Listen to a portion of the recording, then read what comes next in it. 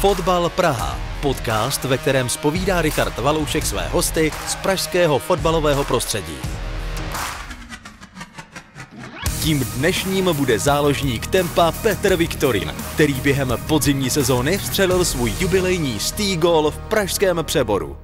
Možná na začátek, jaká je ta letošní sezóna pro tebe, protože už je po podzimu, eh, tempu se daří, nebo dařilo na hřišti, tak eh, jak to by osobně? Tahle sezóna pro mě byla celkem dobrá. Eh, já jsem hlavně chtěl odehrát co nejvíc zápasů.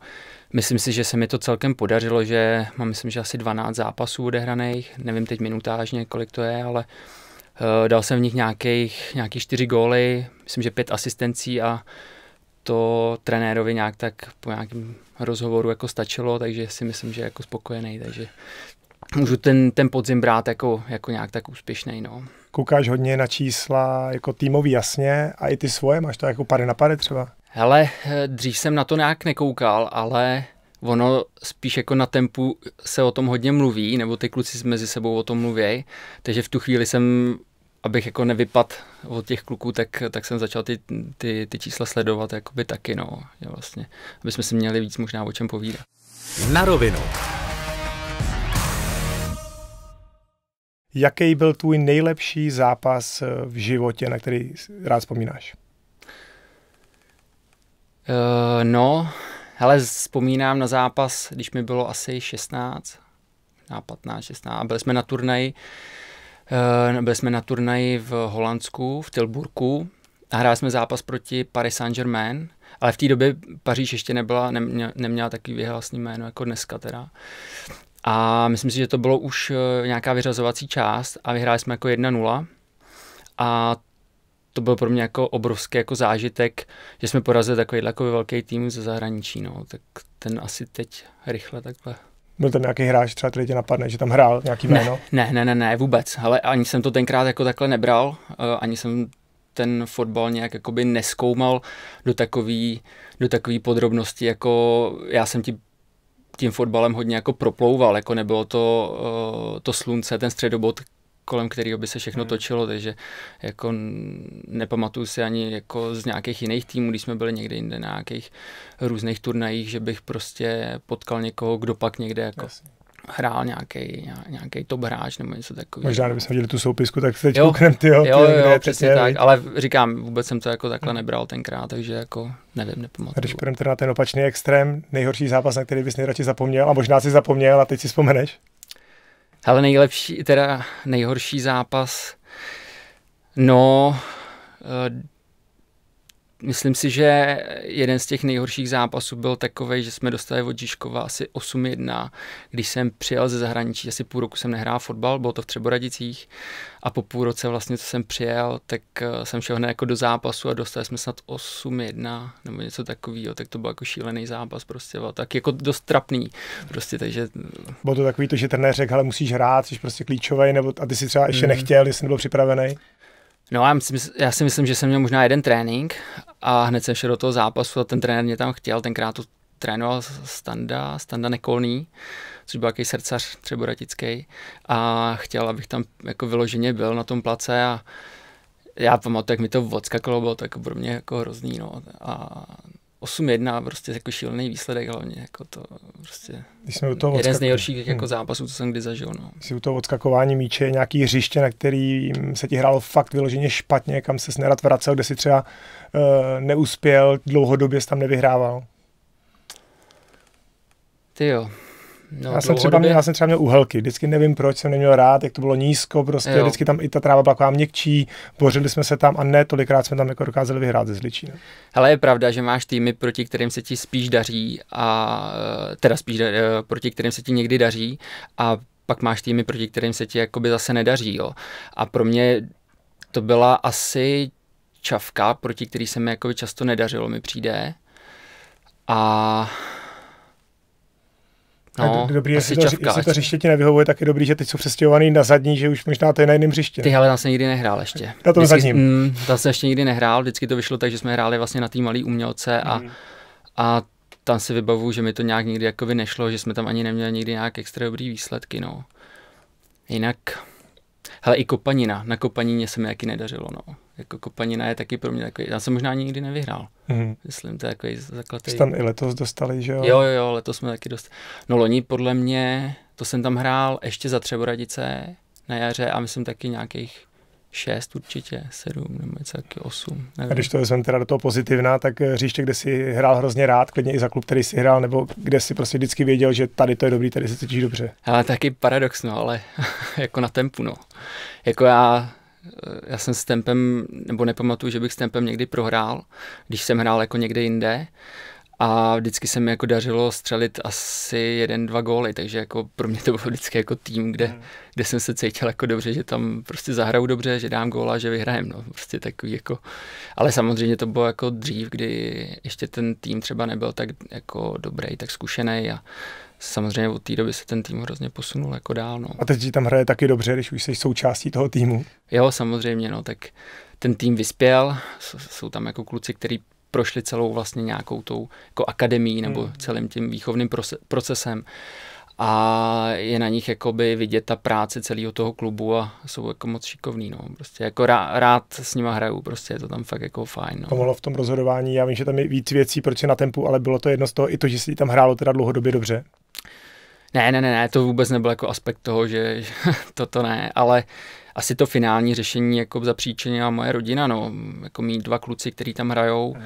tak ty chtěli, aby táta hrál jakoby s nima a asi i trenér, trenér Vanko, který mě nějak tak jako přesvědčil, jako pozitivně oslovil, no, takže ten taky.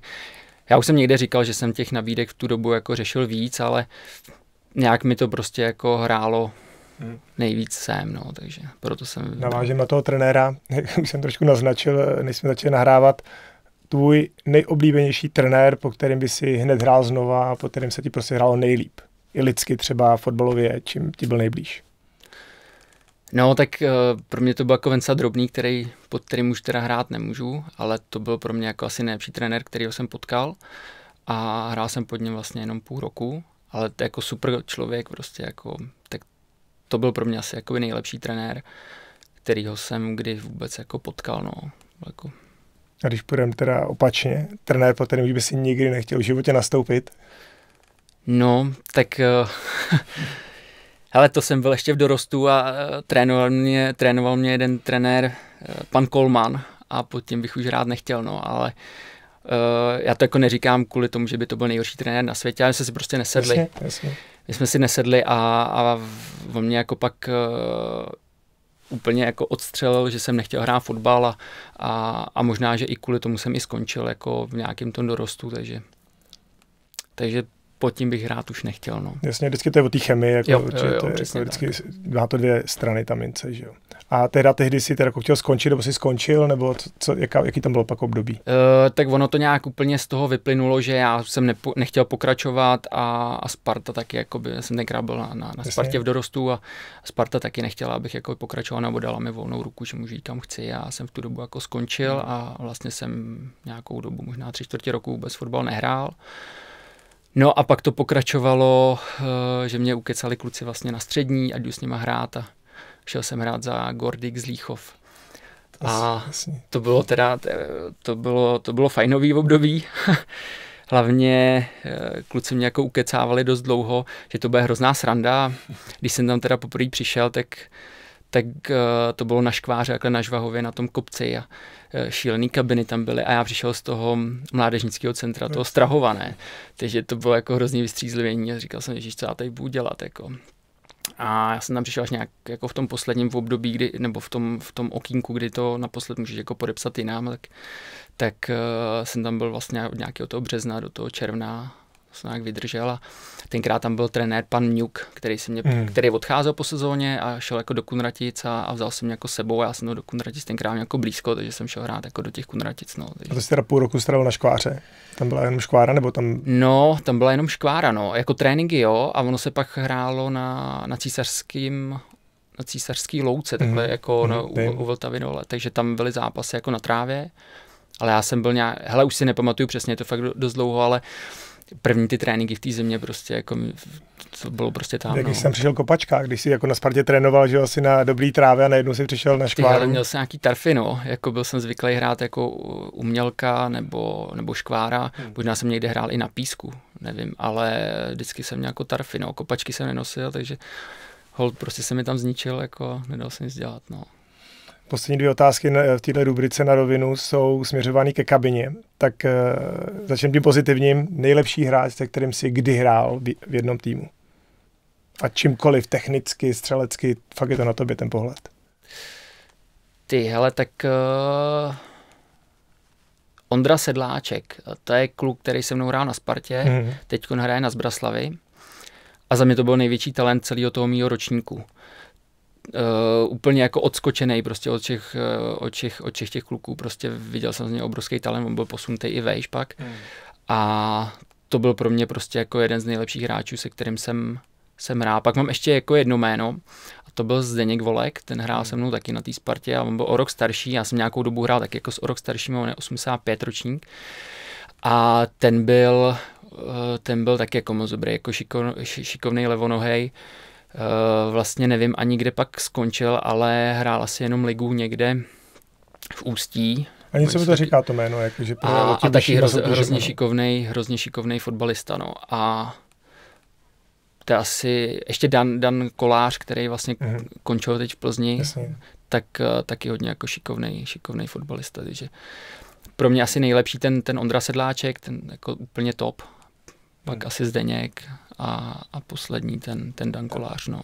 Teď nebudu se ptát, kdo byl nejhorší tvůj spoluhráč, tak přísně nebudu, ale zajímalo by mě, kdo byl podle tebe takový jako největší kopito, kdo by si řekl, ty na tréninku do míku do míče, ale pak v zápase prostě nic nevypustil a takový hráči bys prostě v tom týmu chtěl mít, ale vlastně na první pohled bys řekl, jo, hele, to nemůže prostě jako fungovat. No ale mám jako hned jedno jméno jako na jazyku. Taky, takýho fotbalistu jsem jako jinýho nepotkal. Hmm.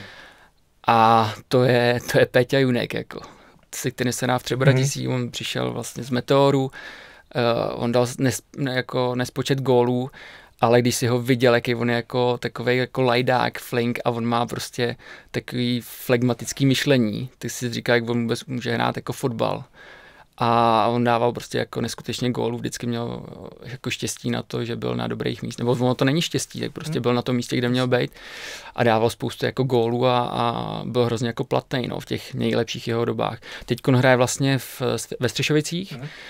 a, a taky nějaký góly dává, jsem viděl, jo, takže to je, to je kluk, on nebyl nikdy jako kopito, ale spíš mě na něm udivovalo hmm. to, jaký on je jako flegmatik vůbec, nebo jaký má přístup k tomu fotbalu a kolik mu vůbec jako dává, jako obětuje a kolik se mu vlastně vrací Myslím. v tom jeho mhm. výkonu, gólech a tady těch věcech. Zpátky do přípravky. Jaká je tvoje úplně první fotbalová vzpomínka z tvýho, jako, z tvý kariéry nebo z tvýho života fotbalového?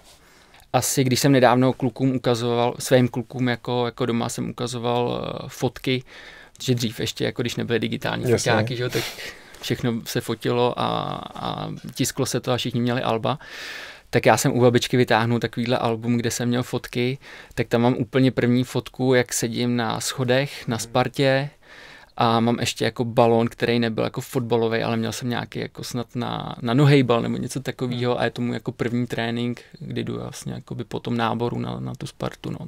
Jaký byly ty začátky, teda rovnou Sparta, tak jako asi v té době nejlepší klub?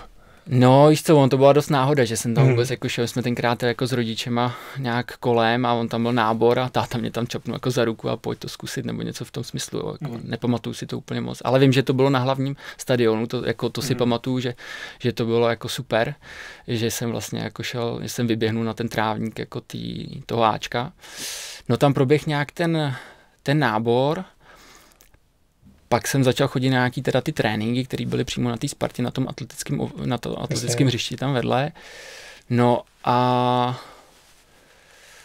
No a začal jsem tam hrát, no, jako byl jsem tam dlouhou dobu, prostě v, asi do nějakých těch 17, 18 nebo nějak tak. A... Kdy jsi začal uvědomovat, jako, že to je Sparta, že to je jako ten asi v té době nejlepší klub v Česku? No tak asi možná už v začátku, jo, jako už na začátku jsem, hmm. jsem věděl, že ten klub je prostě jako jeden z těch top, nebo, nebo že jsou tady dva možná jako Sparta Jasně. Slávě, jako jo, a, a že hrajou jako za, za, za dobrý klub, no, tak už asi jako takhle malý dítě, no.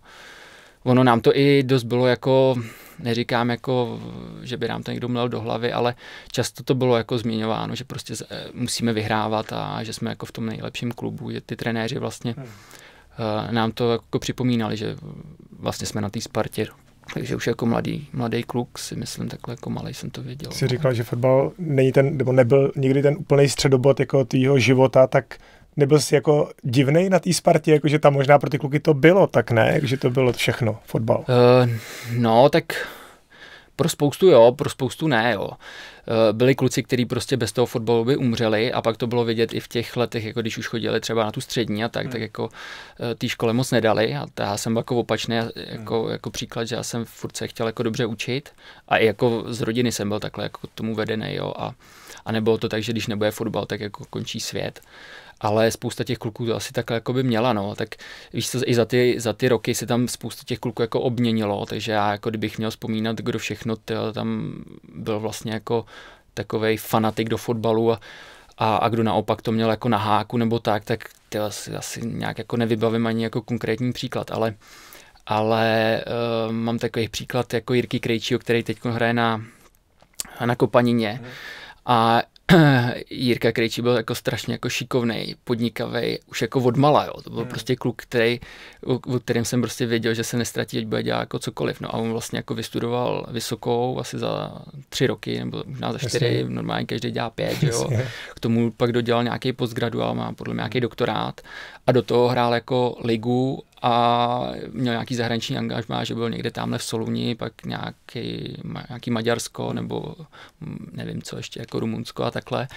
A, a zvládnu to všechno jako dohromady, jo. A myslím si, že mu ani nikdo jako nepomáhal, jako, jo. takže jako, že by měl nějaký jako zázemí toho, že já nevím, máma s tátou za něj všechno jakoby vyřídí a takhle, takže uh, to byl kluk, který prostě si myslím, že i kdyby dělal nebo nedělal ten fotbal, jak je to jedno a byl by úspěšný ve všem jakoby ostatním, co, co by v životě dělal. No.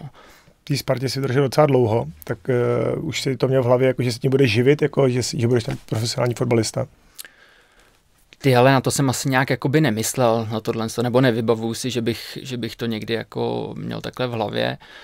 Ale ono, pak tady ta myšlenka tě nějak jako utvrzuje, čím jsi jakoby starší, tak je to jako blíž, že jo, tohle, že by si mohl jako se tím živit nebo tak. A já jsem jakoby viděl, že já jako nemám na to prostě hrát jako ligu, nebo hmm. jsem nebyl jako ten, ten, kdo by tam byl jako nejlepší, jako byl třeba jako ten při Ondra... pohledu na ty spoluhráče, mm-hmm, jo? Mm-hmm, jako byl třeba ten Ondra Sedláček, který prostě jako brzo měl třeba, dejme tomu, nějakého manažera, měl možná už i smlouvu třeba jakoby hmm. hodně brzo, takže v tomhle tom si myslím, jako že, že jsem byl jako nějaký, jsem měl otevřený oči a že jsem věděl, že jako nejsem úplně jako nejlepší tam mezi nimi a že se tím jako živit asi, asi nebudu. A jak si pak teda pobral, nebo jak ti hlava pobrala to, že na jedné straně si porazil Paris Saint-Germain a asi nebo moc let později si hrál na škváře za Zlíchov, tak byl to jako pro tebe jako, že hele dobrý, jdu si zahrát, už jako to neřeším, a nebo jak, jak to probíhalo třeba i u tebe jako v hlavě, aby si to srovnal? Ale pro mě to bylo pak jako uh, neuvěřitelné jako vysvobození, že už jsem jako z té Sparty pryč, z toho tlaku veškerého a z toho, že všichni od tebe něco očekávají.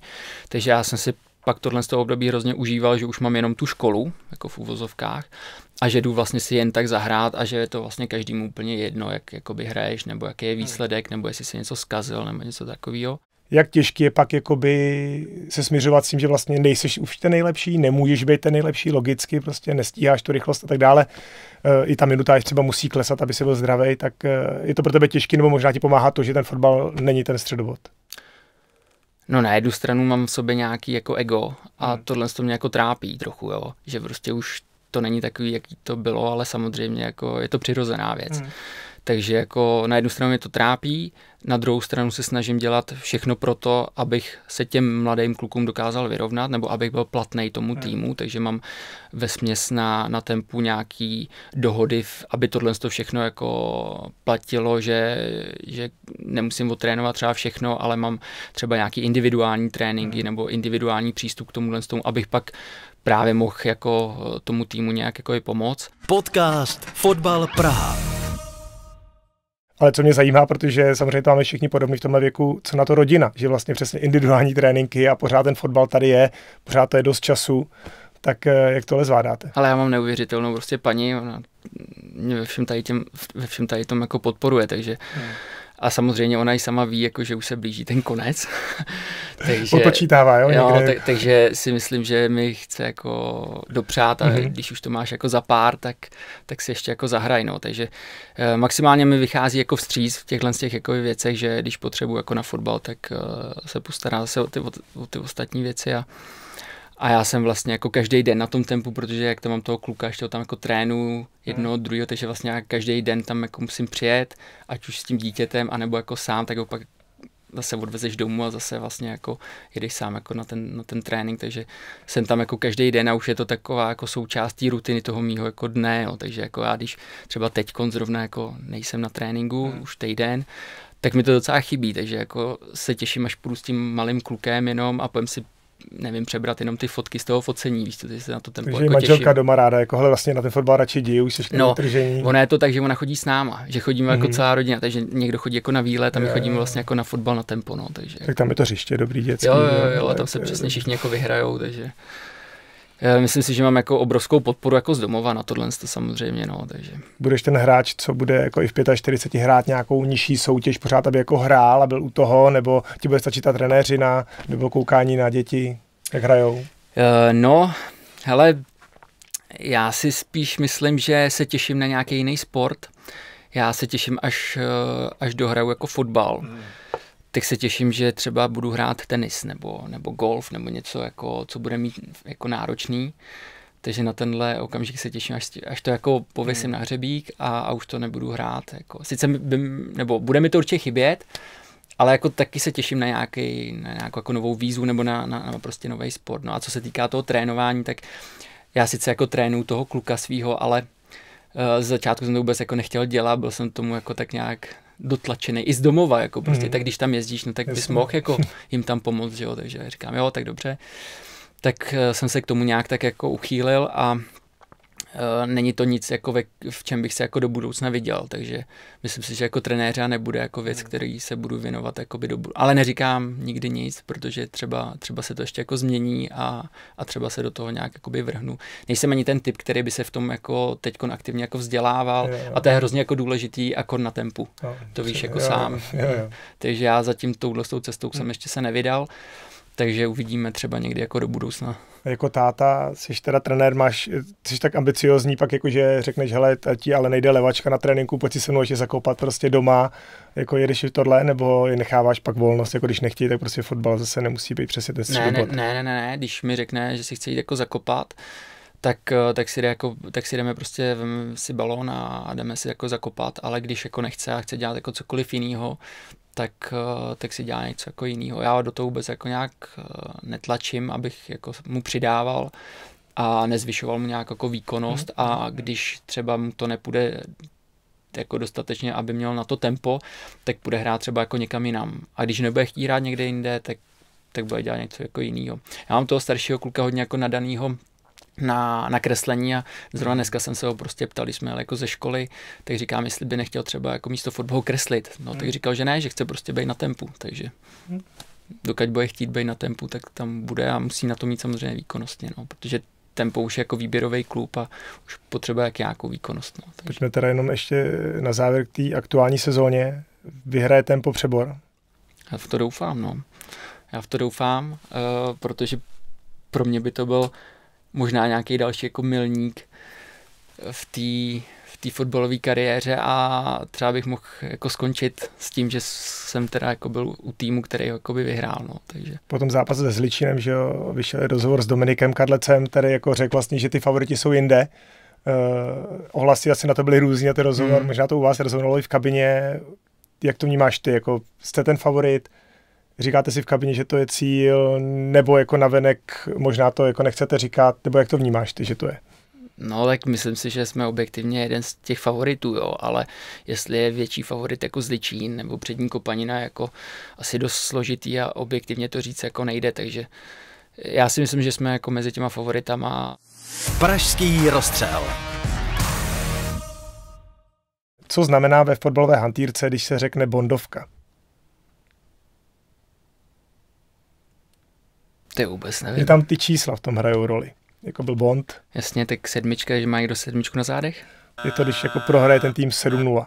Tak Jo. to je jako, že ten Jo, zápas byl jo. Bondovka Jo, jo. jako Mm, 0-7, jasně. 0-0-7, dokonce to zaměření na domácí tým, že to je jako 0-0-7. Jo, jo.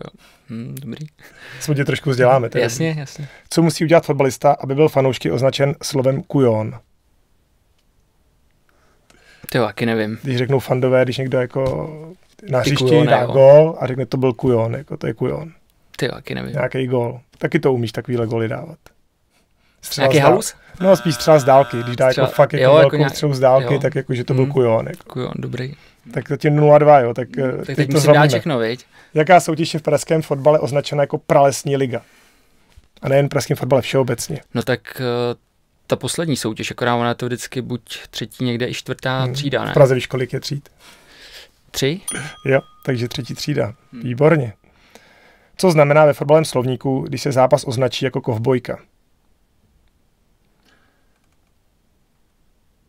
Ovlivní to hodně ten člověk. Ten rozhočí, no, tak jako ovlivněný rozhočím, no. No, přesně tak, když rozhodčí přesně zbytečně to hrotí, ne, trošku to neudrží ten zápas, možná něco jako bylo pražský derby. Teď na podzim. Dobrý, 2-2. Tak teď možná to nebudu říkat, jestli to je lehký nebo těžký. Kterému hráči na hřišti se přezdívá zametač? Tak většinou je to stoper, no, asi. No, přesně Ten- tak, ten, ten, je poslední, hráč. Je to tak. Super, 3-2 jsi to otočil nakonec. A je to úplně ne, nebylo to lehký, no. Super. Já děkuju. Mhm. Myslím, že to stačí, že to bylo super povídání, že trošku dík. jsme ti nakoukli do tvýho fotbalového života a já ti budu hlavně přát, aby jsi byl zdravý, aby tu dlouhou zimní přestávku, která teď jako je relativně dlouhá, několik měsíců, si zvládnul ve zdraví, užil si to s dětma a na jaře jste zabývali o ten titul. Děkuju, děkuju, děkuju za pozvání. Podcast Fotbal Praha.